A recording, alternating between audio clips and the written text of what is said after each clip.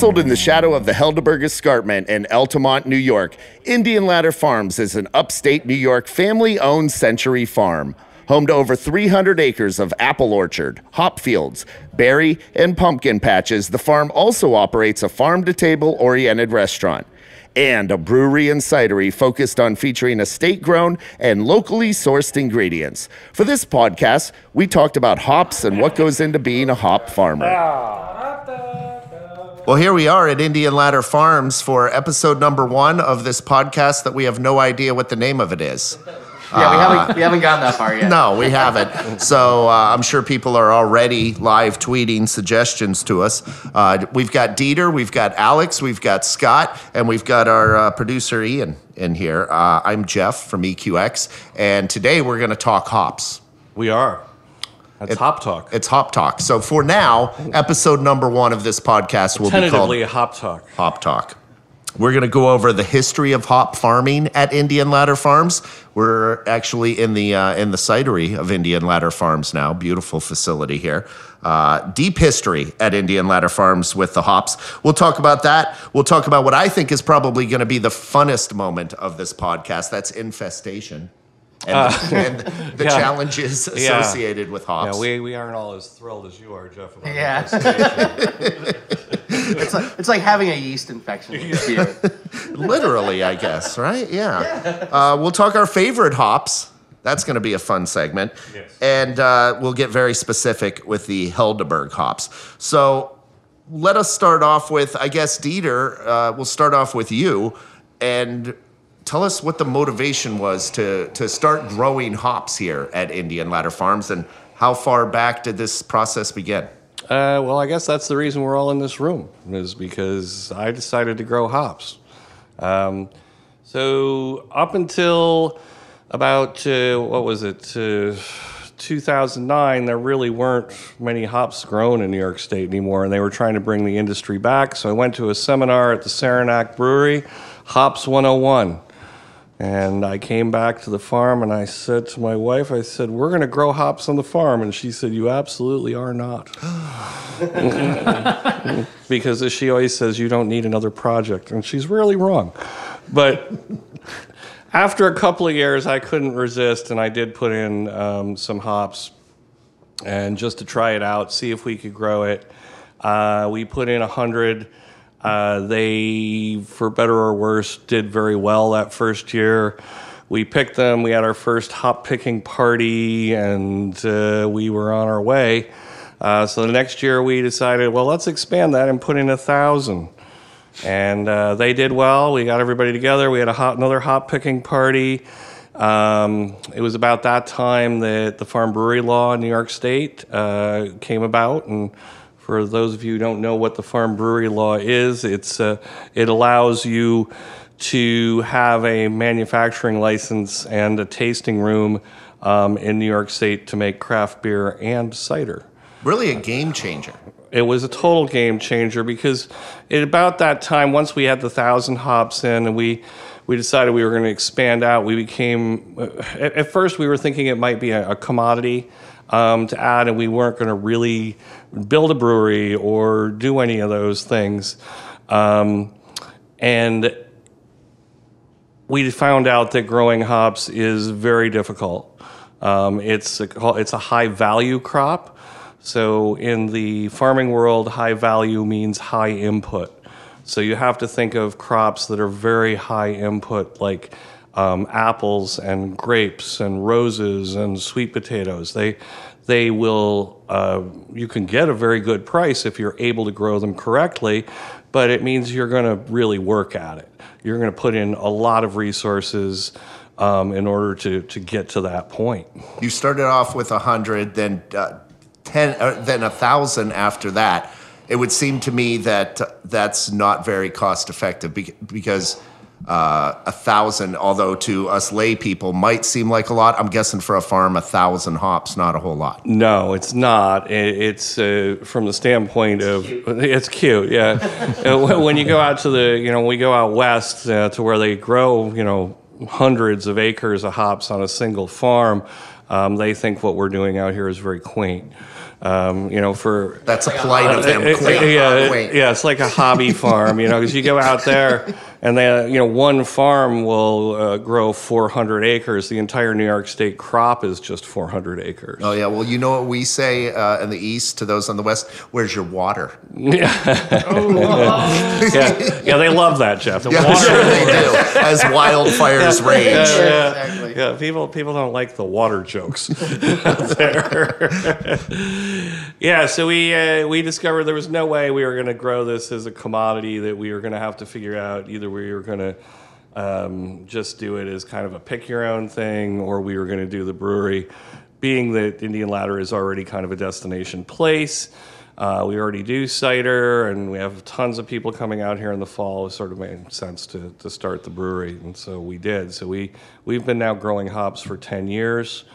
Um, we're going to be putting more in. Um, we currently have 14 varieties. 14. Yeah. We sit here at 342 Altamont Road in Altamont, New York at Indian Ladder Farms. Across route uh, across Altamont Road here on the north side of the road, that's where I see hops. Is that all of the hops? That's the majority of the hops. We do have an experimental yard down uh, across the road that we have some uh, heritage hops. Um, that uh, hops are one of the, the amazing things about the, the crop is that it's hops have always grown here in New York State. Um, they're a wild plant that uh, was here um, when the Dutch came. They they saw hops growing here. It's in some of the earliest literature that they record that they're growing here. And the reason they recorded that was not so much that they wanted those particular hops, they knew that their hops would grow here when they came over to make beer. So you said that you would have hop picking parties. Hops grow quite tall. Uh, yeah, and, and the hop picking parties are, are, it sounds like a really great thing. It's got and the word party in it. It does, and it, it's fun, you know, for the first year, and then the second year, it's kind of fun. The third year, nobody answers their phone. I was gonna say, luck, luckily you still, luckily you still have some friends. you know, It's fun for the first hour. yeah, it's first hour. Uh, hops, you know, they'll grow. Uh, our we're 18 foot high trellises. They grow to the top. So um, a mature vine. Um, in the early days, we didn't have mature vines. It it takes three years for a hop really to to reach maturity, and by the time they hit five years, a single plant can weigh 40, 50 pounds. Um, and all the cones that are on there is what we want separated because the lupulin is inside the cones. Um, have to be picked by hand if you don't have a picking machine. Um, which, when we started, the nearest picking machine was in Michigan.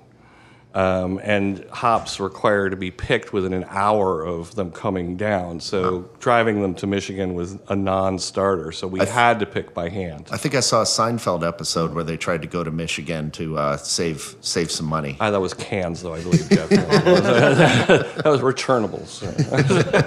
So year number one, 100 hops. You had a hop picking party. People came out. That was a good time. Year number two, 1,000 hops. You still got some suckers to come out and help you. How many hops were you up to year number three when people were no longer all that excited to come out for the hop picking we party? We were about 2,000. We're up to 2,500 now. Um, but yeah, we had we had put in another thousand the, the following year, and we had also um, realized that there was you know nobody was coming back to pick that um, because it takes one man hour to pick a, a hop vine. And so, even though we have different varietals on the farm, which you know, um, you know, essentially fruit at different times, so all of our hops aren't like you know ripe today. You know, so we have like this week we're going to be picking Centennial. Next week we'll probably be picking um, Cascade. Um, so each variety has its own time that it wants to be picked, just like apples. So we pick over over a three and a half week period. Um, so we ended up uh, we ended up buying a machine, um, and it uh, it was made in New York State. It was a small scale machine. It was made by some people who didn't really understand hops or the how they were picked and Wait, um, wait, wait, wait, wait a second. This machine was built by people who had no idea what the purpose of the machine was. it's a That's usually how you build so a the- machine, right? yeah yeah yeah so the uh, Kind of like how we're building this podcast, right? Yeah, okay, I get it. So, So- it's a great machine. Yeah, well, it, it's a great machine if your if your end result was supposed to be a boat mooring, uh, because that's really what it's good for. Um, it's more of a hop destroyer than it is a hop picker. Um, so we ended up picking by hand again, uh, and then had to make a rather large investment in um, a used German machine uh, that we had to have brought in uh, through, via Poland um, and uh, set up, and now that uh, lives in its own dedicated barn on the farm, um, and uh, affectionately called Heidi. Uh, she weighs seven tons. Um, was made in 1974. I don't think she wants her weight mentioned on the, on the podcast. We won't mention her. Dieter. Was she was she named Heidi when you bought it? Uh, no, um, and and what's funny is that I've talked to so there there there are about I think 50 of these machines now in the United States, and whenever you talk to a hop farmer or a brewery that has one of these, you always ask what the name is, and it's always like Gertrude or Helga. Something or- there, German-esque. yes, there is another Heidi. Uh, so when we got ours, there was a sister machine was brought over, and and uh, I believe that's Helga, and she lives in Syracuse. That's So- a, that's a shout out to Chad at uh, the Vineyard. It's a it's a large machine. It's a big noisy machine. noisy. Um, Very unsafe. it didn't didn't come with any instructions. the, well, the few instructions there were were in German. Um, it was they were machines that are no longer made. Uh, so the co- Wolf, the company that makes them, doesn't even really care to talk about them because they've moved on to much bigger machines that cost millions of dollars. Basically a building. Y- Yeah, Basically a building. Yeah. it is. It's like a. It's like she's like a small building. But knowing you like I do, Dieter, you loved this challenge of figuring out how that how Heidi works. Uh, to an extent, Jeff. it, it got, gets a little frustrating, um, especially when you can't find parts for Heidi. Um, and if, like in one year, when Heidi broke down in the middle of harvest, and we were back to driving hops all over the countryside trying to find other Heidis. Wow. Um, we now know where most of the Heidis are within uh, a one-hour radius of us, and so- Closest one is probably Dry Town. Yep, Dry Town and Argyle, Oneonta, um, Northern Eagle Hop Processing has one. Um, there are a few of them in the area. We all kind of know of each other because we all we all it. These machines were made essentially for um, larger hop yards, so you know like 40 acres. So it's way more machine than we need or will ever need. Uh, so we pick for other farms. So, for example, we picked for Rockin' Hops on Saturday. We're going to be picking uh, for uh, the guys at Sloop on the f- 5th. And then we're picking for a, a small two acre yard up in Johnstown on Sun, or fr- Friday. So we do contract picking.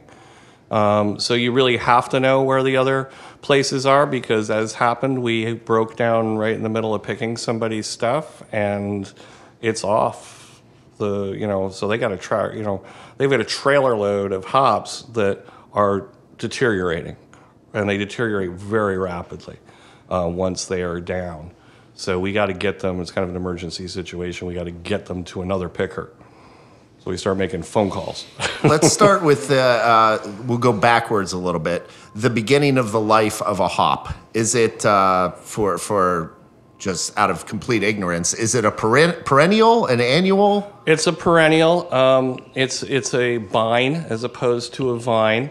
Um, so perennials, as you know, Jeff, come back every year. Yeah. uh, as they have the to be replanted. Um, so you, you kind of think, like I said, you kind of think of hops like you would of grapes or apples. Um, it's a long-term investment. Uh, you're going to your infrastructure has to be well in place before you do it. It's not it's not something you're just gonna if you're gonna do it to make any money or make beer. It's not really a hobby or something you're gonna do in retirement. It's kind of something you you're going to be dedicated to. So the people who are really successful at it in the state generally are already farmers.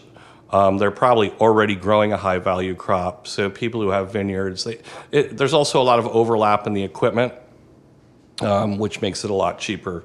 Because if you have to go out um, and invest in all the equipment, let alone a hop yard, just to set up a single acre is, is about $15,000. Granted, that is going to provide hops for you if you care for them correctly for 25 years, but it's a sizable investment.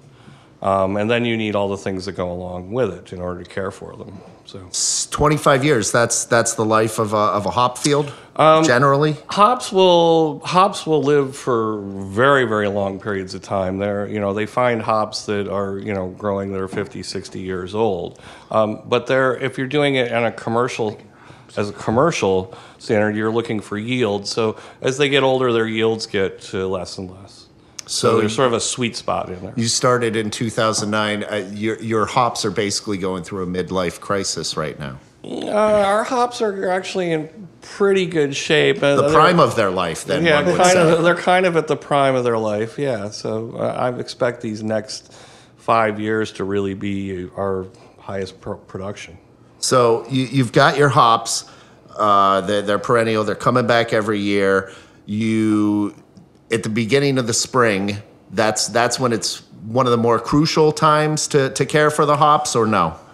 So the only time we're not in the hop yard is essentially from January to the beginning of March. When there's snow on the ground. when there's snow and there it's frozen. After that, we are in there. We're cleaning all the dead stuff out from the year before that we didn't get out um, before. There's anything that's in there might harbor disease or bugs or whatever. So we're cleaning all that out. We're repairing irrigation. Um, and then in our case, usually by the end of March, we're usually replanting. Uh, so we're digging rhizomes. So hops grow on a, on a large root system. Um, the root system is almost as big as what you underground as what you see above ground. Okay. So th- the rhizome is a part of the root that comes off and it has a bud on it. And you can dig those and you can clip those off and you can start another hop. All hops are female that we grow and they're all clones of other hops. So you can do it that way, and that's the most effective, cleanest way to do it. You can also cut, you know, shoots off once they come up and root those and start them in a greenhouse. We do that sometimes too. Um, so we're we're doing we're doing that to begin with. That's this is before they even come up out of the ground um, that we're digging the, the rhizomes. Uh, we're putting mulch back down to uh, put more nutrients into the soil, and then when they do come up, they what you see growing out there is is two or three bines. So when the hill comes up in the springtime, it can have anywhere from 60 to 200 shoots. And we do not want to allow all those to grow because we're looking to create, you know, flowers, the cones. And we don't want to grow a lot of vegetation. So we have to go through and prune everything back to just two or three.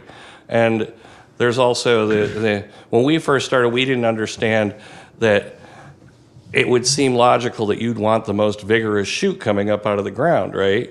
Because that's the one that's going to produce the most. But that's called the bull shoot. And the bull. A lot of lot of fun. A lot of fun. Well, the, well, the hop grows that for a reason, and it, it's you know an evolutionary thing over millions of years. So the hop is essentially growing its own trellis. So the bull shoot is the first thing that comes up, and it's the strongest thing that comes up, so that the other vines can attach to that. Because, like I said, it's a bine, not a vine. So it has trichomes on it, which are these little tiny microscopic anchors. That's what scratches you when you rub a hop vine against you. It'll actually tear your skin open if they're big enough. Um, and they, those little anchors, with the twisting of the vine going around, that's what pulls it up and it, it goes up. Whereas a vine has tendrils. If you think like of a grape or a cucumber or something like that, they have those little, you know, ringlets that come off and grab onto things, and that's how they pull themselves up. Um, so we have to get rid of the bull shoot because we are providing um, a medium for it to grow on. We're dropping strings. So that's, you know, after that's the next thing we do is we go through and we drop strings all through the yard, which takes us a couple of days. Um, and then we go and we train those two or three up that. Is there a preferred uh, material for the string? Uh, yeah, it's actually it's called Coir. It's a C O I R, and it comes from Claire? Coir. Coir. Where? Coir. Coir. Everyone has a different pronunciation. Bar. Coir or coir is usually what you hear. Spell it again. C O I R. C O I R. Yeah, that's not a word.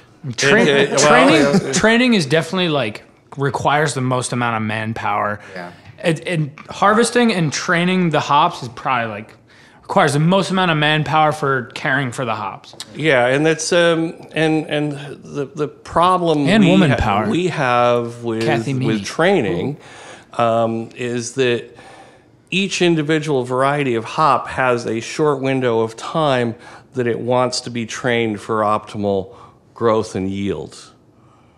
Um, so we're we're still figuring that out because a lot of the hops that we have in our yard were developed on the west coast, and so their growing conditions are different. So Speaking therefore, of hops, the best producer on the planet here, Ian, is going Yeah. to get us He's some our- liquid he's our drink form of the hops. Thank you. apparently I'm talking too much because No, that's fine. I got Keep that. talking. yeah, look at me. Yeah. Dieter has well over half I a got- glass I still a full of glass product here. here. Yeah, pipe down, would ya? and I never even asked. I answered the question, "What's queer made of?" What- Oh, yes, that's where we're at. What is queer made of? Uh, I have no idea. No, Okay. uh, it's uh, it's uh, it's made out of um, uh, hairs from the tail of a monkey that are braided together. Oh, come on. I was totally on board. I thought that was the coolest thing ever. It's a baboon. Well, first, well, first of all, monkeys don't have tails. Oh wait, some monkeys do have tails. All right, they're, it's prehensile tails. No, it's made out of coconut husk from Indonesia. Okay. Wait, so how Dieter, how long have you had Heidi? Uh, we've had Heidi for this is our fifth season. Yeah, so five years you've had Heidi, and we're still pulling out. Um, we're still pulling out the metal wires that the Germans use from when it was over in Germany, that they use as quar. They use metal wire, and Heidi sometimes. Wait, are you still- saying the same word, C O I R? queer? Okay. Yeah. All right, just want to make sure. So, but you say quar. I don't say know, quar. Like guar. Quar, yeah, we say. I've I've always been brought up as quar. That's fine. That's fine. I just want to make sure I'm not missing Um, so something here. I, I'm over German. in- I call over it in- wire. I, I call it bullshit. It's not a word. Hop roll. It's hop roll. tomato, tomato. Uh, but yes, Heidi still spits out uh, like this metal wire that the Germans use as their quar. They use metal wire, and she still spits out like little chunks of metal wire, Yeah. which is pretty interesting. And Heidi does not cool. like anything other than queer or wire. Like you can't use baling twine or plastic twine. It gets Nylon wound up. rope or anything. Nylon That is such a fine difference between the Yeah. two or three or Yeah, four or multiple. Heidi is very smart. Heidi is um, like most German-made things. It's a precision instrument to Okay. do one thing. Very nice. Don't and don't ask her to do anything Right. else. Don't you, know? dare bring any dwar or twar or swar. Yeah. Quar only. Heidi is not you, gonna like that, and she will balk or make a really bad noise and stop All right, working. so Yeah. that's that's That's good to know. for. That's good to know. So you could use something else, but Heidi doesn't like anything but quar. No, and we tell people that you know new contract pickers that come, you know, we have we have a uh, conversation about what did you grow on? Right. Uh, did oh Yeah. oh you What use does it bark matter? good? That's that's that's All question right. number So one. Check. when you when you got Heidi, no manual, no instructions, nothing on YouTube. Uh, how, how many different types of materials did you go through till you discovered that quar was where Oh it no, we knew right from the start what that everybody No, used. Brett, this podcast isn't an about instinct. bragging. No, it's- It instinct. I mean, we're just, you know, we have a lot of farming instinct here, and um, yeah, we, we were right from the beginning, as always. There are some hobbyists that When is your like, wife going to be a guest on the podcast? Because Uh, I she think we may need come some. up and uh, she'll start slapping me around. Okay. But- All right, so we're, I think we've gone our over eyes. Quar. Uh, I've noticed. Uh, I, I've spent just a tiny little amount of time in your hop field, uh, learning a little bit and, and training the hops at the beginning of the season. And they go, they grow up the Quar yes, clockwise. yes, Is it uh, the opposite in South America? yes, Are you serious? yes. Got something right. You nailed it. You nailed it. That's amazing. Yeah, they they do. Um, you know, everywhere from Argentina down. Um, but yeah, so let's see. So now we are at they're growing up, right? So when we get to Wicked fast, right? They grow wicked fast. They can grow six inches in a day. You leave the hop yard, you come back, and they've, you know, they're visibly higher. That is incredible. Uh, I've not seen it, but I think someone needs to do a time lapse on a hop field. I haven't seen one either. Well, There's, it's probably out. There's probably, there's probably. There's got to be, right? I mean, there's time lapse on everything. Exactly. I So know. driving to work. Uh, right now, this is uh, I've been this wanting is to our check pri- out this prepar- YouTube proprietary information uh, on Hop Talk episode one, hop growing time lapse. We own that idea. No one Yeah. steal it from us. no one's gonna do it. Don't Ever. take it. uh, yeah, so they grow so fast because they're they're trying to they're trying to do things right. So one of the things they're trying to do is they're trying to get to a certain height. The sun. They're trying to touch the sun. They want to touch the sun. They don't know that's a bad because they're hops. Right. Right. Um, but you know, they if we've done everything correctly, they should hit the wire by the 21st of June. you put a bell on top of the wire so that, like, the first one, ding. Oh, yeah, right. Well, we haven't thought about a bell, but uh, Another not- proprietary that's not a idea, idea. part of Hop make, Talk uh, here. make a note I just of was saying, that. who's got the balls to go to the tap? Yeah. So, so why why do they hit the top by June 21st? What's what's the significance of That of that is the summer solstice. Yes. So what happens after that? Days get short. Well, daylight decreases. daylight decreases. So that's a trigger for the hop Okay. to stop putting on vegetative growth, and now it needs to start flowering because it wants to reproduce. So it starts putting out, at that point, it stops growing upward. It starts putting out side arms, and on those side arms, it starts putting out burrs. Usually, you know, by mid July, we're in burr stage. They look like little burdocks. Um, and then that's what, you know, the, the cones are produced on that. Um, so one one thing you should never do, and we did have a couple of calls of this when we first uh, started doing this, is should I cut all the side arms off? And the answer to that is no. No. if That's where all they anything, grow. embrace them and get uh, Yeah, sailor not tattoos cut the side arms off because that's where all your flowers grow. All right. So Yeah. like, so like when you drove out here today and you're looking at the hop yard, the hops are loaded with cones. Yeah. So now is a very, very critical time for us because August is supposed to be hot and dry. We're, and we are getting humid, wet. uh, You know, we're getting an inch of rain in 20 minutes. So the cones want to hold water. And mildew is a huge, huge problem for us. And they I can. uh, just want to let everyone know this is what we warned you about. This is going to be the funnest part of episode number one. We're getting into infestation. Here- here. Yeah. Here comes the infestation. Yeah, this is. Dieter's getting stressed just talking about it. I've Get been very beer, stressed please. for the last couple of days because last year we had a disaster where um, our proprietary hop, the Helderberg hops, were just gorgeous.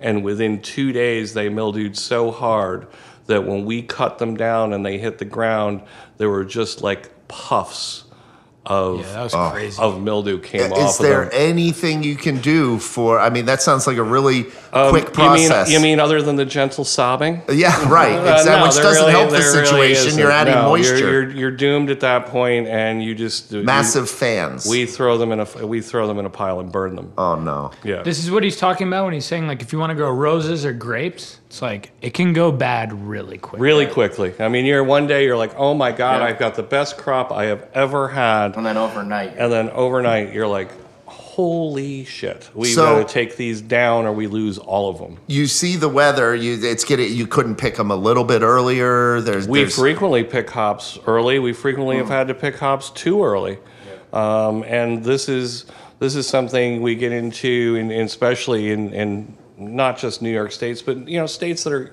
are new to growing hops. Is they look beautiful, um, and the disease pressure is on, and so people pick their hops too early. And then, you know, uh, brewers and, and consumers say, well, hops, you know, they're so grassy. Well, it's because they probably weren't mature. So they didn't have enough lupulin in them to give you the, you know, the fruity notes and, and the citrusy notes that we're, you know, looking for in, in you know, specific varieties. it seems so. Precipitation is a double-edged sword with hops. I, I, now, correct Hop- me if I'm wrong. The, the Pacific Northwest, mm-hmm. great hop growing. This area, great for hop because of the moisture, the precipitation. Well, so there's a couple of couple of things. So hops l- hops need a tremendous amount of water. You're at 18 feet. You're trying to produce, you know, up to 50 pounds of you know vegetative material on one plant.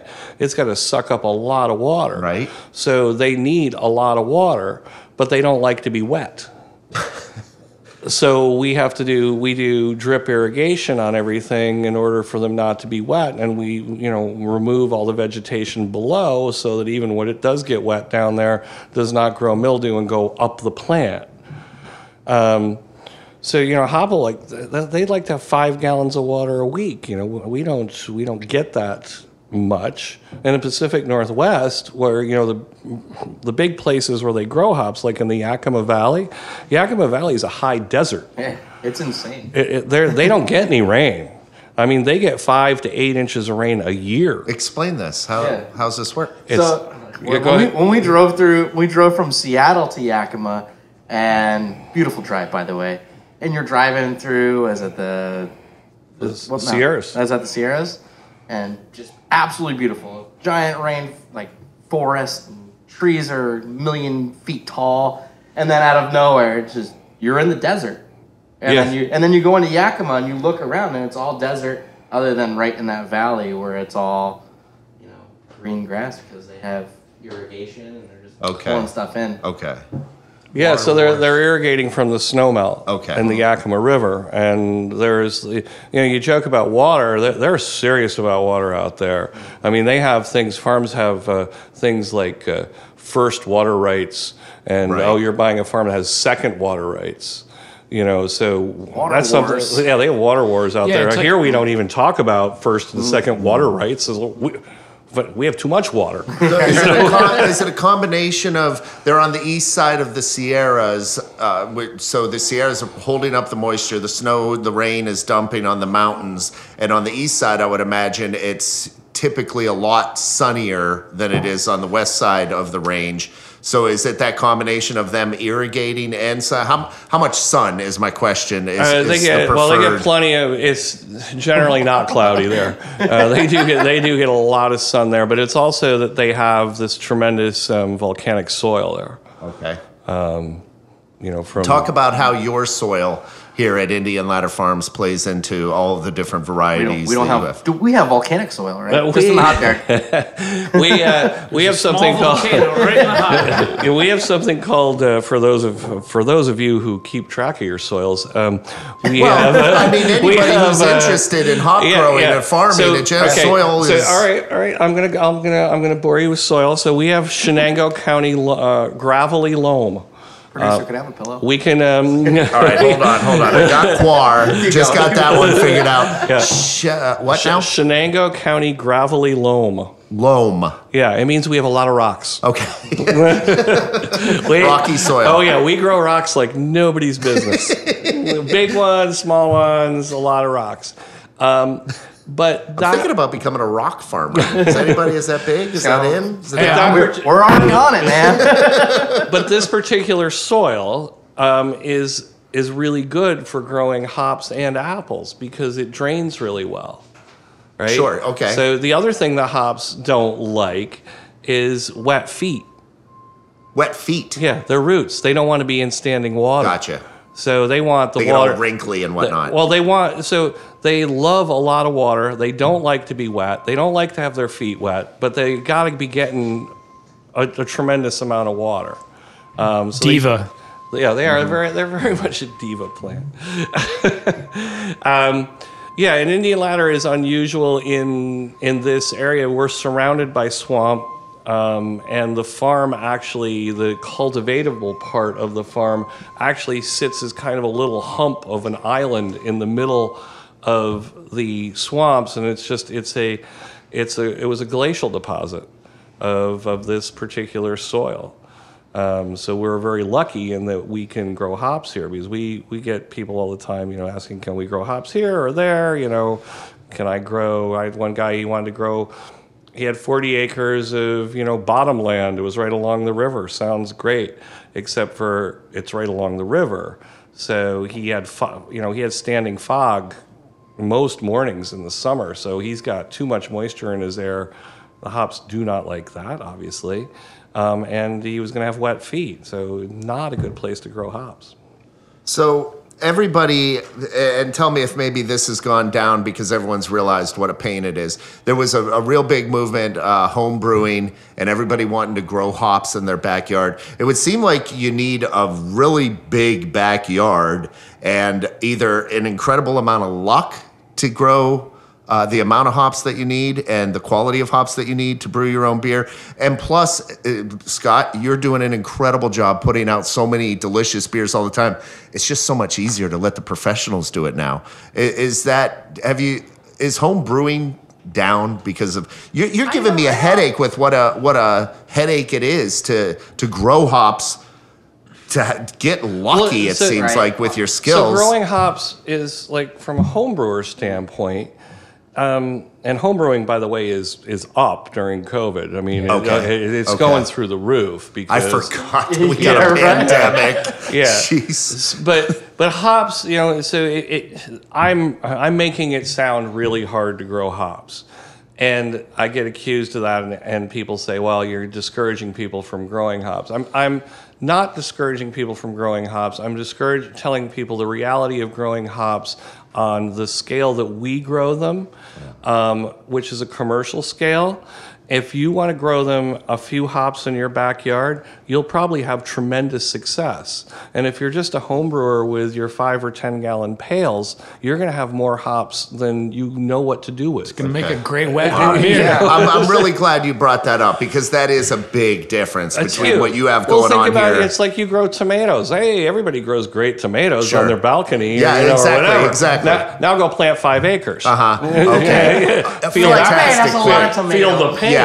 you know? A lot of Like, is there a is there a indoor way, a hydroponic way to grow hops? Is there? Can you control the environment, the climate? Uh, or just- Absolutely. the problem is yields. okay. Yeah, It- Right it's on. just you know you need such a big facility to to grow on the scale that you know would be viable. Okay. It's a lot of lights. Yeah, A lot of lights. I mean it can be done. People And do. it. I just because of the loss and the the risk of loss and how to me it seems like it, that risk is big. Uh, maybe it would be worth it to to cover a, a multi acre field and climate control it and, or or whatever. It, it's it's really hard in that hops grow so well in in the Willamette Valley and in the Yakima Valley, and there's just no way on a commercial scale like that that you will be able to be competitive. Um, you, you would have to charge so much money per pound for your hops um, that there's very few brewers that are going to go. Well, hey, it's it's uh, hydroponic. I'll pay twenty dollars more a pound. Yeah, yeah. You know, that's They do that with unlikely. organic. They, they, well, you know, and, and that's you're charging a premium for your product. I just I don't see that there's a premium that you could charge for a beer because it's hydroponic. Sorry, sorry, there was a Can misunderstanding there. There was a difference between organic and neglect. Yeah, can you can you explain to me what organic is? organic is a word that was made up by Mr. Rodale in the '60s. It's just it's a made up word like Kodak. Okay. uh, to describe something. It never existed prior till I think 1965 or Okay. something like that. So organic is a is a is a practice of trying to use lower. Um, uh, lower, smaller amounts of chemicals into the environment, uh, fewer insecticides, fewer fungicides, um, and uh, so here on Indian Ladder Farms, we are not organic. We are we are IPM. Uh, we're integrated pest management. Um, so we uh, we are actively working to use the smallest amount of chemicals that we have to use um, because there's a misunderstanding, and sometimes we find it with hop farmers that, as Scott was just saying, that organic does not mean neglect. Um, there are organic chemicals that you can spray on your hops. I mean, copper is considered an organic. Copper is a highly toxic chemical um, that if it's overused can be you know a, health issue. Um, so it's not if you're going organic part of the problem in new york state is we don't have a lot of tools in the toolbox because the chemical companies have not been willing to invest the money to license the products that an organic farmer would need in order to be successful because it's just so expensive and there aren't enough hop farms there, there are materials. They, they grow organic hops successfully out west. B- Maybe pest is the wrong word for it, but are there any insects that are good for hops that you'd like to see around? Oh my God, we love spiders and ladybugs. Okay. Ladybugs are Yeah. a big one because they Yeah. eat all the aphids. Yeah. All, all the aphids. And we like mite destroyers. There's, uh, there's- They're like superheroes. yeah. Just very tame. Yeah, so Awesome. so well, let- let's talk about a little infestation with your ins, your insect I friends. promise Jeff. this will be the most You exciting part of this Yeah. uh, episode Yeah, number so- one here. So a lot of places have different uh, problems. Uh, we, the the things that we're fighting mostly are um, p- potato leafhoppers um, and two spotted spider mites. These are fantastic band names. First off, We are the potato leafhoppers. We're opening up for the spider mites. and the pants are up next. the pants are off. that's what I heard too. They're coming on next. Pants are up next. I already have my Oh. pants off. um, yeah. So Yeah, where were we now before Uh, we band were at names? the well. Let's start Well, with band the, names The, the leaf hoppers. All right, the leaf hoppers. So we- in probably second week of June, we start going out and we start looking, turning leaves over, and we're looking for leaf hoppers. And leaf hoppers, um, they're here. Uh, they live here, but they also big infestations. They blow in from storms from the south. So think of like a nor'easter in the summertime. We get one of those big storms, thunderstorms that comes up the coast. That blows in all kinds of insects. A lot of people probably listening to this podcast while they're driving right now. I don't want them to be Google imaging leaf hopper. What does it? What does a leaf hopper look like? How big is it? It's uh, they're very small. Um, Like the the head of a pen. uh, probably twice that size. Okay. When they're mature. Okay. So what we're trying to find is the adult. See how many adults there are on the bottom of a leaf, and how many. You know, the problem is is not the adults. It's the, uh, you know, the little grubs they. they Well, isn't that leaves. life in general? Yeah. So if you're really bad, you start seeing the tips of your leaves your hops are burned, and we call that hopper burn. If you have hopper burn, you pretty much are you're going to have to spray. And that's not exclusive to hops, uh, right? Is that a Uh, lot of alfalfa. different? So so alfalfa um, leaf hoppers love alfalfa. So we we recommend that if you are in an area, um, you know, where your neighbor has large hay fields and they um, are going to mow those fields, do not put your hop yard right next to that because that yard, um, that hay field is going to be filled with leaf hoppers because they, they love it. It's probably not affecting his alfalfa that much because it's such a huge environment, right? But once he mows it, where are they all going? To your hop yard. Your place. Right, right, Yeah. where the- right That is going really next- something to going consider. Next door. right where the- is is this a, a big problem? Do you? And I'm not looking for you to call out any neighbors that you might have, unless you want to call them out. Hey, Blue! But you Well, really need you blues out there. Wah, wah, wah, wah. Uh, Do you really have to work in conjunction with with your neighbors, or just be a jerk and don't? Yeah, right now there's nobody growing alfalfa around us, so you know that's not a huge issue for us. So, But the same would probably be true as far as uh, people that might be using pesticides that you don't want to, things that might be seeping into your your waters. Your, your, we your try to keep the aquifer. pesticide use Yeah. too. There's many reasons to keep pesticide use to to a minimal. I mean, there's a- IPM. is, uh, well, There you go. So, so think of it. if you think of it from an economic standpoint, every time that sprayer has to roll through the apple orchard or the hop yard, it's a gigantic expense. So you don't want to And do just that. fuel alone, you mean, or, or uh, manpower? The- Fuel, the- chemicals, the- manpower. yeah, everything. Um, and Keep saying manpower. so we don't we, we don't want to spray. So that's why we're doing IPM. So we're we're constantly trying to figure out can the plant survive this, right? Um, is it strong enough? Is it healthy enough? Are there enough insects on the that are there that will keep this in check, right? So we want to have a healthy environment.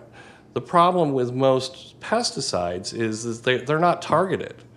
So it's just a wholesale killer.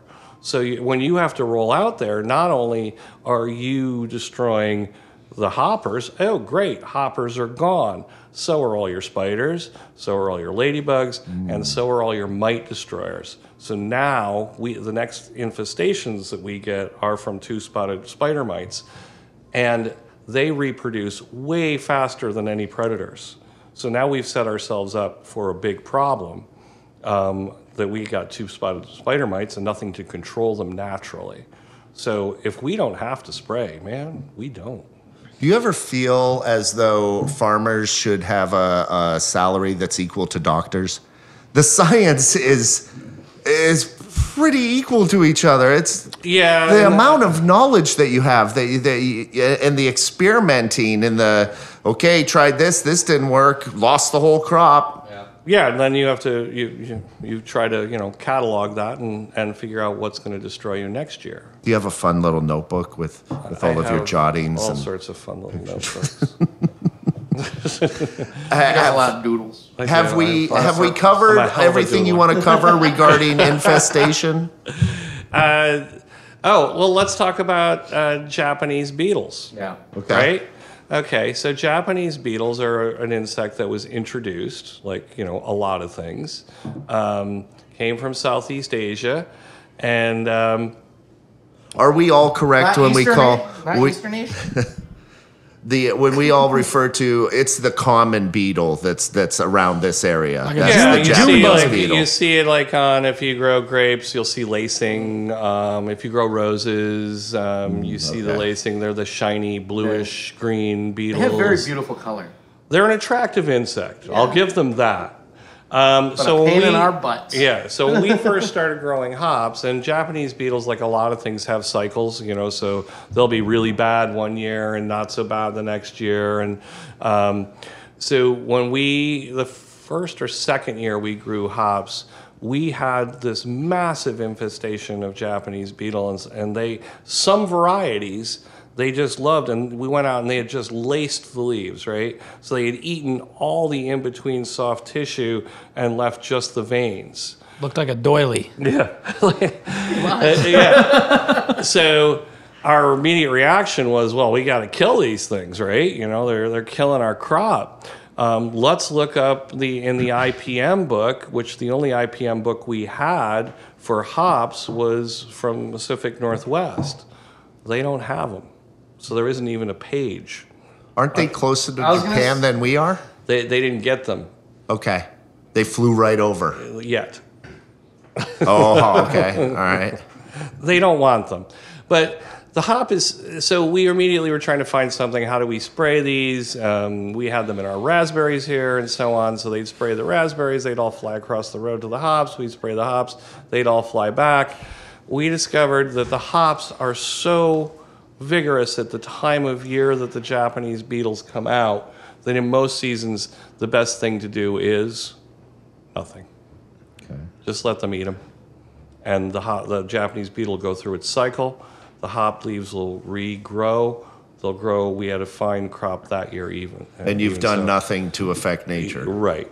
Because again, I don't want to spray Japanese beetles because then I've killed all my beneficial insects for mm-hmm. no reason at all. Exactly. You know? Is there another insect that can take out a Japanese beetle? Oh, I see where you're going with this, Scott. I like it. Uh, unfortunately, not that I'm aware of. So there will be no wagering. All right. Well, there's always wagering. and should I put my pants back on? Get some praying mantises out there. So the Japanese beetle.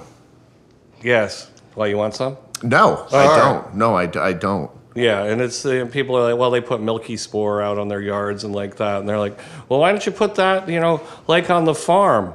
Like, how? Uh-huh.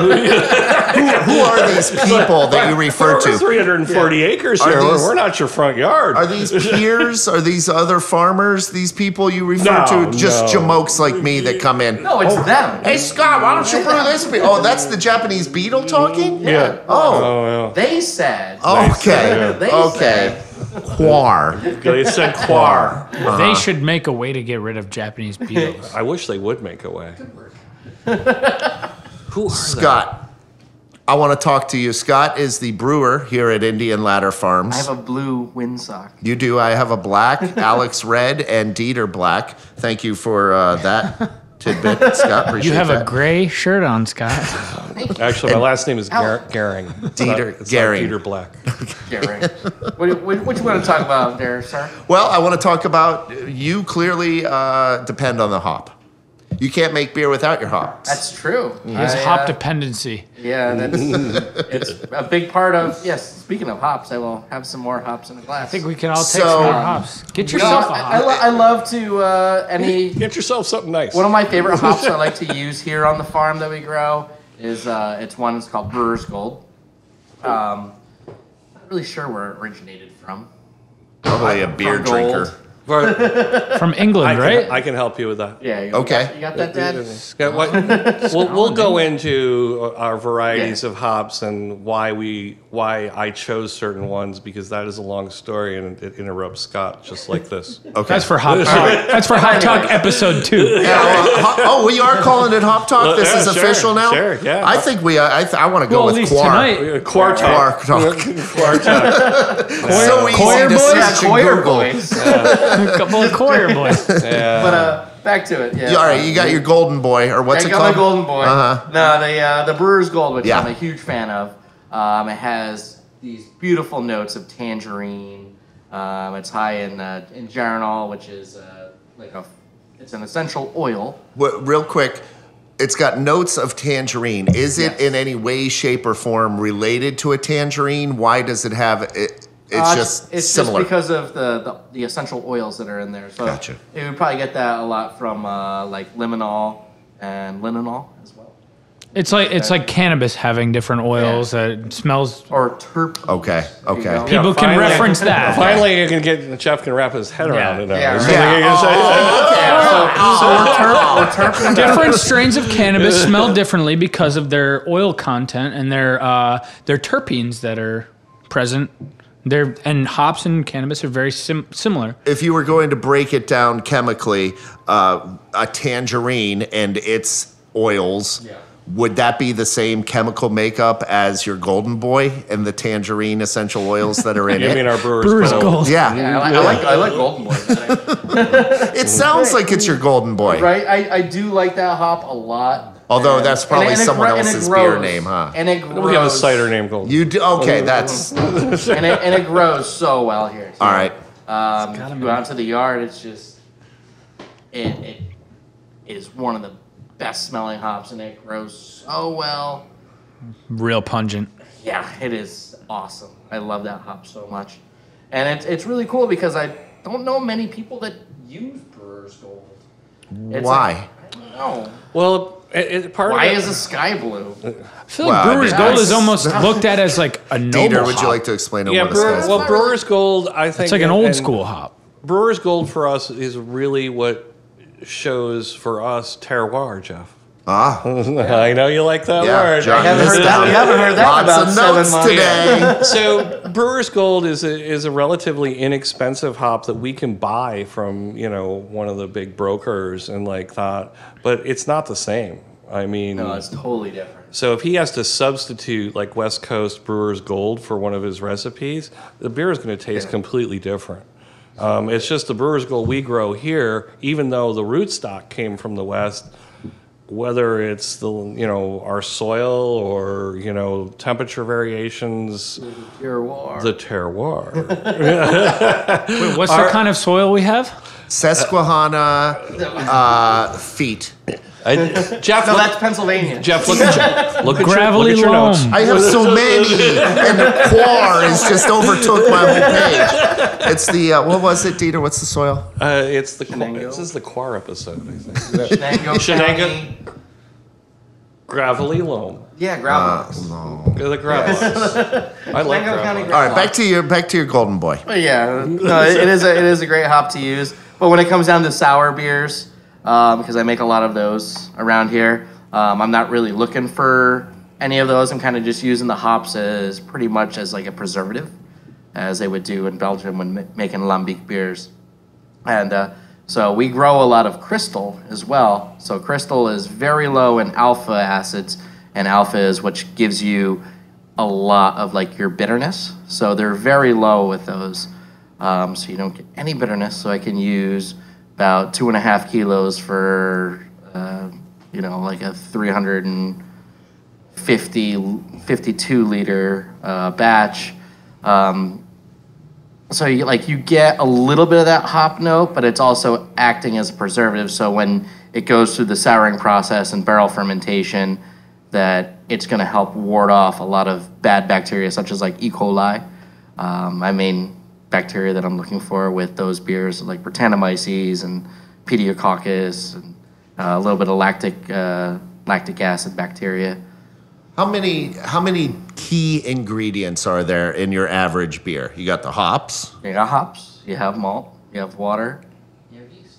Is it 25% importance per ingredient that you just mentioned there? Oh, totally, Or totally. Uh, so not so I, I would say water is definitely your most important. Just like a good bagel. Of course. You got to have good water. Yes. New York pizza. It's because Right. of the water. Right.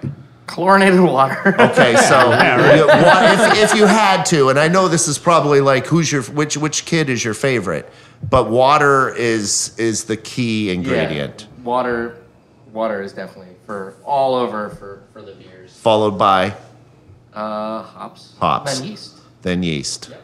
Um, so it really is important for what kind of style beer you're going to make as to what kind of hop you're going to use. Yes, totally, totally. Um, every every year that we uh, we send our hops out for for analysis, we get all of that back, and I basically just print off that little sheet that has all the hop oils on there, and I look at them. It's like, okay, well, I want to make an IPA, so I want to go something that's a little bit floral with a little bit of dankness. So I want a little bit of a higher like myrcene content. So like I'll look at which ones we got there. Okay. And so you we'll just kind of put the cart before the horse. You're like, I want to make this beer. I got to go get the horse. Yeah, I'm not just pissing in the wind here. Uh-huh. Check those, check those oils. and, and the hops it, they change every year too mm-hmm. so he has to pay attention to if he's trying to duplicate something and get it as close to what it would tasted like last year he may have something to, that's very similar. he has to look for something that's similar or he has to increase or decrease um, how much he uses you know and, and also for the most part I mean we do some single hop beers but a lot of you know what's part of you know the brewer's art so to speak is how are these various chemicals going to interact with each other from the different hops because you're blending different hops that have different ratios um, and different characteristics how do you make those taste good It's like being a chef, right, Chef Mo'rad? Oh, good one, Scott. Very nice. There's uh, every year there's Stuart an would be so annual hop growers convention or a hop convention Mm-hmm. that you go to. I, I got to imagine that's that's important. Oh, it's very important. It's how you fi- It- you it learn is- the trends. How are your hops doing? What's going on here?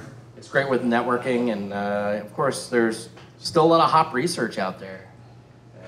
any type of you know wrinkle in our brain we can get with learn something new with hops. Yeah, we always come back with something that was like totally mind blowing. Well, you know? Yeah, artificial intelligence hops. is probably. I mean, the way these computers are able to break down whatever the hell they're doing, whatever they're breaking down, uh, it's got to be very exciting. I'm sure. Is, is there a hop that is being developed now that you can't wait to work with? It isn't quite there Well, they, yet. they, they, they usually have a lot of numbers.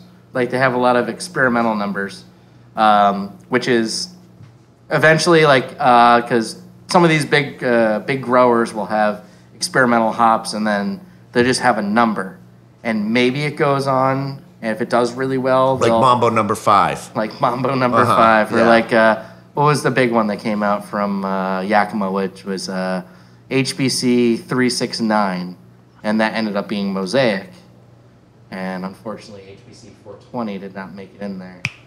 But that but that was one that had a lot of notes of coconut. I think Sierra Nevada used that in one of their beers. And then does the hop end up? I, I, I can't think of any, but I I don't live in the hop world. Do the people who created them get the hop named after them eventually after the you know label code ah, numbers? That I do not know. Oh, that's, that's a good question for Dr. Paul. There's a. the- but you've met Dr. Paul. I have and he's met a very interesting dude. that guy has a brain. Yeah. Oh yeah. yeah, so the whole, you know, the whole development of individual hops and where they come from and how they, you know, why some are proprietary and stuff is a whole other subject. So so we can't talk about your proprietary hop, the Helderberg hop. It's a whole another subject. Is that episode two, three, four? Um, because I did want to talk about it. I do, I do like to leave them wanting more. Okay, that's fair. That's fair. Yeah, I think that you know we'll get into you know because people are always like, well, why can't you grow Citra here, or why can't you grow any of these own the sexy rights to it. sexy hops? And it's because we don't own the rights to Citra. Citra is grown by farmers that paid a tremendous amount of money to develop it. Well, tell me why that is. Is certain apples you uh, you, you don't have to have We have, rights. propri- we have proprietary, proprietary apples apples. on the okay, farm. this is episode two. Yeah. I what? You ever heard of a snapdragon? You ever hear of a snapdragon? Hell yeah, oh. I have. That's, yeah, we- I, Proprietary thought, I thought that was gonna be the sound that Jeff makes when he cracks your neck. Okay, we've got a lot to learn. Yeah, so right. so we can get into in another episode. You know, uh, we were talking, you know, briefly about where Brewers Gold comes from. I know, um, and it's also Came from Dieter's. Dieter's yard. yeah, yeah. No, it was developed in, in, in England by a, a, a professor at a university who also was in an apple breeding program, and we actually have some of his apples here, and um, and so that's a whole other a whole other subject. Well, we shall get into that then. Uh, again, the working title is Hop Talk. Dieter, Alex, Scott, Ian, I am Jeff. We look forward to being downloaded wherever you download podcasts and listen to them. And uh, This has been this has been a good first run. I think so. Yeah. hopefully, we have at least one fan. You've been listening to Indian Ladder Farms Cidery and Brewery owner operator Dieter Gehring, its head brewer Scott Veltman, and its head cider maker Alex Gill. The producers and engineers are Troy Pohl and Ian Carlton. Any questions, comments, thoughts, or suggestions can be directed to podcastilf at gmail.com. That's podcastilf at gmail.com. I'm Jeff Mo'rad. Thanks for listening. See ya!